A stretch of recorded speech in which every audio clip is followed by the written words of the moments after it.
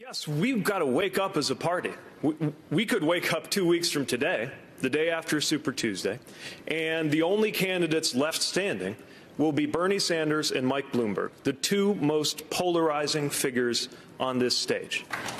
And most Americans don't see where they fit if they've got to choose between a socialist who thinks that capitalism is the root of all evil and a billionaire who thinks that money ought to be the, the root of all power. Let's put forward somebody who actually lives and works in a middle class neighborhood in an industrial Midwestern city. Let's put forward somebody who's actually a Democrat. Look,